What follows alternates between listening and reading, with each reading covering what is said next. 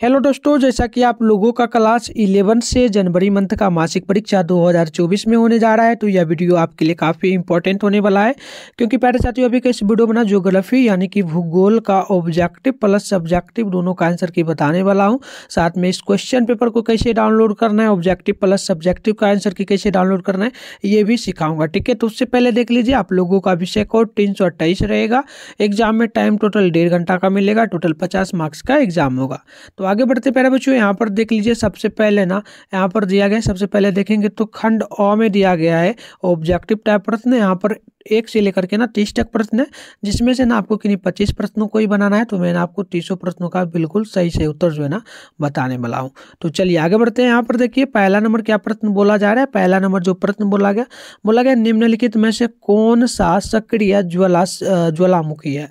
तो बिल्कुल देखिए पहला का ऑप्शन नंबर होगा ए यानी कि यह हो जाएगा क्या हो जाएगा एक्स्ट्रा ठीक है एक्स्ट्रा बोली, यानी ऑप्शन में बिल्कुल राइट होगा पहला नंबर प्रश्न का।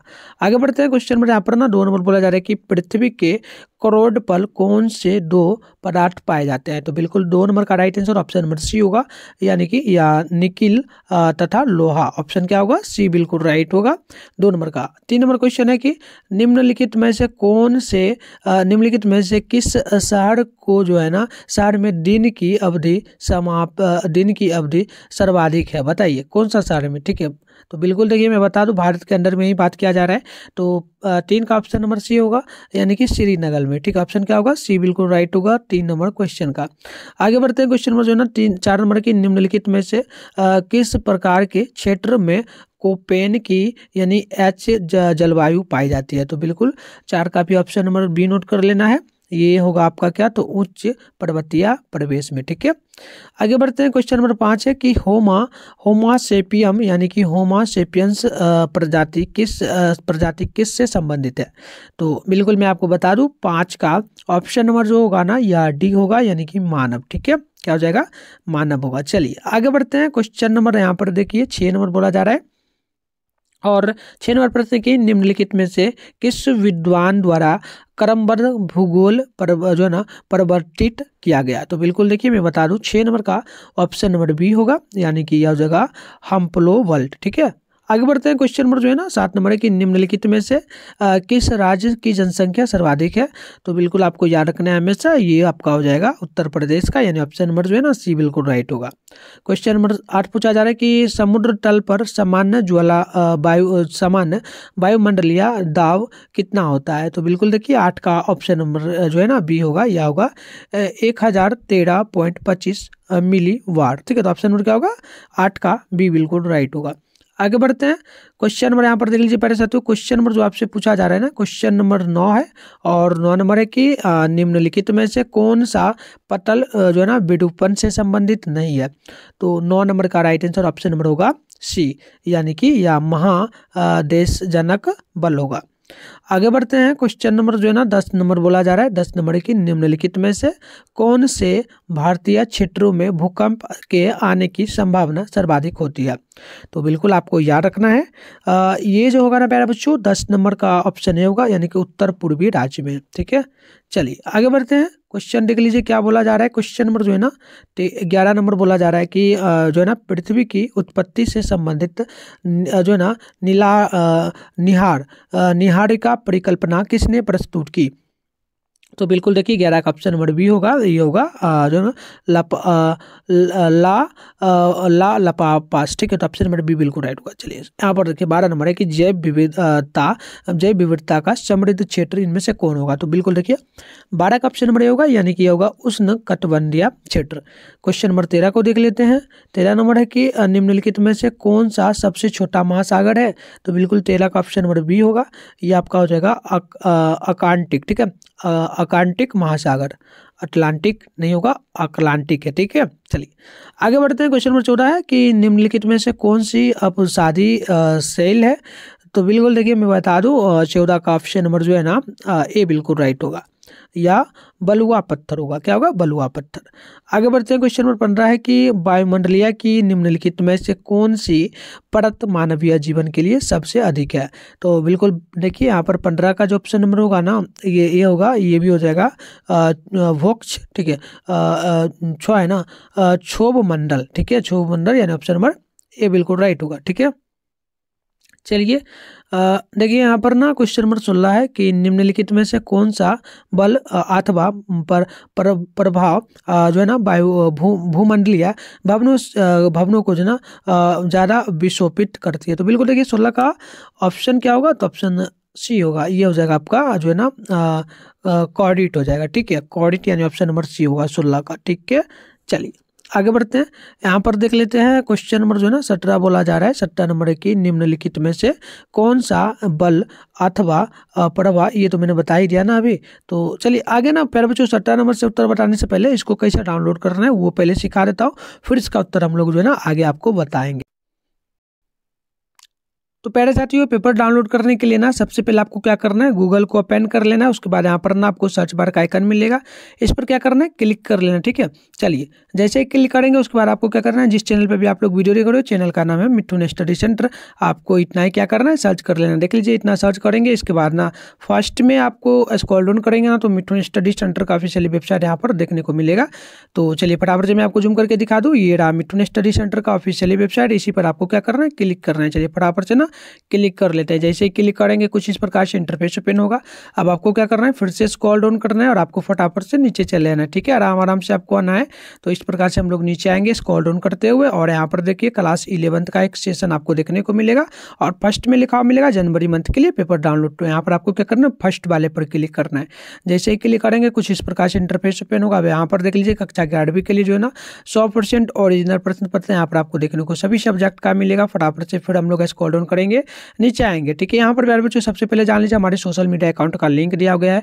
यहाँ पर व्हाट्सएप ग्रुप का है टेलीग्राम ग्रुप का है यूट्यूब चैनल का है। तो यूट्यूब चैनल को भी सब्सक्राइब कर लेना, क्योंकि अभी यूट्यूब चैनल पे हुई और यहाँ पर ना टेलीग्राम ग्रुप और व्हाट्सएप ग्रुप को ज्वाइन कर लेना, क्योंकि इसको ज्वाइन करेगा तो काफ़ी फ़ायदा होगा। आपको ट्वेल्थ में भी मैं आपको हेल्प करने वाला हूँ। साथ में आप लोगों का फाइनल एग्ज़ाम इलेवंथ का एनुअल ईयर होने वाला है, जो कि मार्च महीने में होगा, तेईस से फिर छब्बीस मार्च के बीच तो उसमें पास करिएगा, तभी आप लोग ट्वेल्थ में जा पाएगा तो उसमें उसमें भी मैं आपको हेल्प करूँगा तो आप हमारे साथ अभी जुड़ जाइए। व्हाट्सएप ग्रुप में फॉलो करने का ऑप्शन देगा तो फॉलो कर लेना, ठीक है? चलिए, आगे बढ़ेंगे तो यहाँ पर देख लीजिए, अभी हम लोग साइंस वाले, ये साइंस का सेशन है तो साइंस में आपको नहीं आना है, आपको कॉमर्स में आना है आर्ट्स में आना है ना तो यहाँ पर देखिए, यहाँ पर आर्ट्स का सेशन है तो यहाँ पर आपको आना है, और यहाँ पर ना आर्ट्स के लिए सभी सब्जेक्ट का पेपर दिया गया यहाँ पर पेपर नेम है डाउनलोड लिंक जो भी चाहिए पोलिटिकल साइंस चाहिए जोग्राफी चाहिए जो भी चाहिए, सारा यहाँ पर मिल जाएगा, हिंदी हो गया इंग्लिश हो गया, ठीक है सोशोलॉजी हो गया साइकोलॉजी हो गया इसके बाद देख लीजिए, यहाँ पर साइकोलॉजी आपका हो जाएगा, साथ में हिस्ट्री हो गया साइकोलॉजी हुआ ठीक है? यहाँ पर देख लीजिए, इकोनॉमिक्स हो गया, होम साइंस, म्यूज़िक, जो भी चाहिए सारा आपको यहाँ पर मिल जाएगा। उर्दू का भी मिल जाएगा, पहले बच्चों ठीक है मैथिली का भी, संस्कृत का भी। तो चलिए, हम लोग किसका डाउनलोड करेंगे? तो हम लोग जोग्राफी का करेंगे, ठीक है? तो चलिए, यहाँ पर ना जोग्राफी है, इसके सामने क्या लिखा है? तो डाउनलोड तो हम लोग डाउनलोड पर क्लिक करेंगे। जैसे ही क्लिक करेंगे, आपके सामने इस प्रकार से इंटरफेस ओपन होगा तो आपको क्या करना है? इसको ओपन करना है, पंद्रह से लेकर के ना तीस सेकेंड तक आपको इसमें वेट करना है, या फिर इसमें जो जो प्रोसेस का कर लेना है, ताकि बार बार आपके फ़ोन में ना ये नहीं खुले, ठीक है? इसमें ज़्यादा कुछ नहीं मेल वगैरह नाम वगैरह आपका मांगेगा तो दे देना है। ये बार बार नहीं आएगा क्योंकि आपको पेपर डाउनलोड करना है तो बार बार आपको यहाँ पर आना पड़ेगा। इसलिए ये प्रोसेस कर लेना ताकि बार बार ये फ़ोन में ना आए। तो अब देखिए कुछ इस प्रकार से इंटरफेस ओपन होगा। यहाँ पर ना जो ग्राफी का सौ परसेंट ओरिजिनल पर आपको देखने को मिल जाएगा। फटाफट से हम लोग क्या करेंगे? स्कॉल डाउन करेंगे और नीचे चले आएँगे, ठीक है? इस प्रकार से आएँगे। यहाँ पर देखिए जोग्राफी का ना सौ परसेंट जो अभी प्रश्न बता रहा हूँ ऑब्जेक्टिव का सारे प्रश्नों का उत्तर मैं यहाँ पर डाल दूँगा। तो यहाँ से आकर के तीसों प्रश्नों का उत्तर डाउनलोड कर लेना। इसके जस्ट नीचे आएँगे ना सब्जेक्टिव प्रश्न का उत्तर जो है ना, आपको यहाँ पर देखने को मिल जाएगा। तो यहाँ से आपको आकर के डाउनलोड कर लेना, ठीक है? तो चलिए आगे बढ़ते हैं।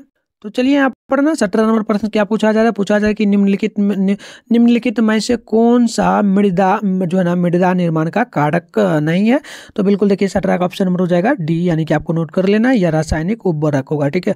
क्वेश्चन नंबर अठारह कि निम्नलिखित में से कौन सी नदी महा जो है ना, प्राद्वीपीय भारत की सबसे बड़ी नदी है? तो बिल्कुल बता दूँ, यहाँ पर अठारह का ऑप्शन नंबर होगा वी यानी कि होगा महा गोदावरी, ठीक है? आगे क्वेश्चन नंबर उन्नीस है कि कोपेन द्वारा जलवायु वर्गीकरण के क्या आधार है? तो बिल्कुल उन्नीस का भी ऑप्शन नंबर ए होगा, यानी कि तापमान एवं वृद्धि के मासिक मान। आगे बढ़ते हैं बीस नंबर की ओर, पूछा गया प्रोजेक्ट जो है ना एलिफेंट किस वर्ष लागू किया गया? तो बिल्कुल याद रखना है आप लोगों को। ये क्या गया था? उन्नीस सौ ईस्वी को। आगे बढ़ते हैं क्वेश्चन नंबर इक्कीस की ओर, निम्नलिखित में से कौन सा जो है ना, विषय कालिक संश्लेषण करता है? तो बिल्कुल इक्कीस का ऑप्शन नंबर होगा डी यानी कि आप भूगोल होगा, ठीक है? चलिए, आगे बढ़ते हैं। इसके बाद आगे देखते हैं क्वेश्चन नंबर जो है ना बाईस नंबर है, पूछा गया, इनमें से कौन सा भूकंप केंद्र के उद उद जो है ना, उद्गम के घोटक है? तो बिल्कुल यहाँ पर देख लीजिएगा तो वाइस का भी ऑप्शन नंबर होगा क्या? ऑप्शन बी होगा, ये एफ़ होगा, ठीक है। आगे बढ़ते हैं क्वेश्चन नंबर तेईस है कि जो है ना, चट्टानों चट्टानों का टूटकल अपने स्थानों पर ही पड़े रहना क्या कहलाता है? तो बिल्कुल तेईस नंबर का ऑप्शन नंबर ये नोट कर लेना छः कहलाएगा। आगे बढ़ते हैं क्वेश्चन नंबर जो है ना, चौबीस है कि हिमालय किस प्रकार का पर्वत है? तो बिल्कुल, चौबीस का ऑप्शन नंबर नोट कर लेना है, ये ऑप्शन नंबर बी होगा, यानी कि मोर डार होगा। यानी ऑप्शन नंबर क्या होगा? यहाँ पर बी बिल्कुल चौबीस का राइट होगा। आगे बढ़ते हैं क्वेश्चन नंबर पच्चीस की ओर। सामान्यतः कितनी ऊंचाई पर एक डिग्री सेल्सियस तापमान घट जाता है तो लगभग आपको याद रखना है प्यारे बच्चों। ये लगभग जो है ना एक सौ पैंसठ मीटर पर, ठीक है? आगे बढ़ते हैं क्वेश्चन नंबर देख लीजिए, यहाँ पर ना आपसे क्या पूछा जा रहा है? छब्बीस नंबर प्रश्न पूछा जा रहा है कि जो ना, लवणता के लवणता को प्रति समुद्र तल में घुले हुए नमक यानी ग्राम की मात्रा में व्यक्त किया जाता है। कितना में? तो बिल्कुल बता दूँ आपको, छब्बीस का ऑप्शन नंबर सी होगा, यानी कि एक हज़ार ग्राम में। आगे बढ़ते हैं, सत्ताईस नंबर कि तिब्बत में, जो है ना, ब्रह्मपुत्र को किस नाम से जाना जाता है? तो बिल्कुल सत्ताईस का ऑप्शन नंबर जो है ना, ये बिल्कुल राइट होगा, यह होगा सांगपो, ठीक है? अट्ठाईस नंबर है कि उत्तर प्रदेश उत्तर भारत में, जो ना, ग्रीष्म काल में तेज गति से चलने वाली गर्म हवा कहलाती है। तो बिल्कुल ये कहलाती है क्या? तो ये लू कहलाती है ऑप्शन बी बिल्कुल राइट है। तीस, उनतीस है, किस नदी को बिहार का शोक कहा जाता है? तो बिल्कुल आपको याद रखना है, प्यारे बच्चों, उनतीस का ऑप्शन नंबर होगा, कोसी को कहा जाता है। आगे बढ़ते हैं क्वेश्चन नंबर जो है ना, तीस नंबर की प्रोजेक्ट टाइगर निम्नलिखित में से किस उद्योग से जो है ना शुरू किया गया? तो बिल्कुल तीस का ऑप्शन नंबर बी होगा, ये होगा बाघ को शिकार करने से बचाने के लिए। तो ये पैरा बच्चों टोटल मैंने आपको तीस प्रश्नों का ना बिल्कुल सही से उत्तर बता दिया ठीक है ना? अब चलिए सब्जेक्टिव क्वेश्चन भी दिखा देता हूँ। तो देखिए, ये आपका सब्जेक्टिव क्वेश्चन प्यारे बच्चों इसका ना उत्तर हम लोग नेक्स्ट वीडियो में आएँगे तो बताएँगे, ठीक है? तो इसके लिए चैनल को सब्सक्राइब कर लीजिए। यहाँ पर देखिए सारे प्रश्नों का उत्तर ना मैं आऊँगा नेक्स्ट वीडियो में तो फटाफट से आपको बता दूँगा। इसके लिए जल्दी से चैनल को सब्सक्राइब कर लीजिए। ये आपका शॉर्ट लॉन्ग क्वेश्चन हो जाएगा, ठीक है? तो चैनल को जल्दी से सब्सक्राइब कर लीजिए नोटिफिकेशन कॉल पर प्रेस कर लीजिए और जिस भी सब्जेक्ट आपको पेपर चाहिए कमेंट बॉक्स में कमेंट कर दीजिए, मैं बिल्कुल बना दूँगा, ठीक है ना? और वीडियो को भी तक लाइक करें तो वीडियो को भी लाइक कर लीजिए और पेपर डाउनलोड करने के लिए बता दो तो वहाँ पर ऑब्जेक्टिव प्लस सब्जेक्टिव दोनों का आंसर की जाएगा डाला हुआ तो वहाँ से जाकर के डाउनलोड कर लें। तो मिलते हैं नेक्स्ट वीडियो में, तब तक के लिए बाय बाय